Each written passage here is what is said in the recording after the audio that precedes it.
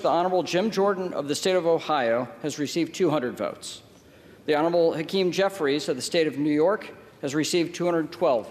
The Speaker has not been elected. Jim Jordan needed 217 votes to become House Speaker. Almost all Republican votes, since the party holds a narrow majority of 221 to 212. The conservative Republican has successfully shored up dozens of reluctant lawmakers, but 20 holdouts remained.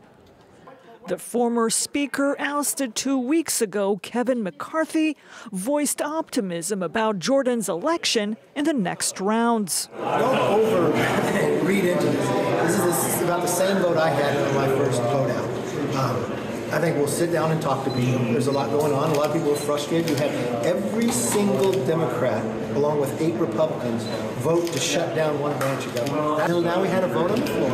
They didn't get to the whole point. Now we'll take a break, talk to people, come back.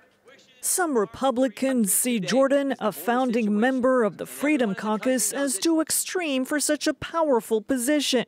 Here are some of the reasons Democrats don't want to see him holding the gavel. A vote today to make the architect of a nationwide abortion ban, a vocal election denier, and an insurrection insider to the Speaker of this House would be a terrible message to the country and our allies.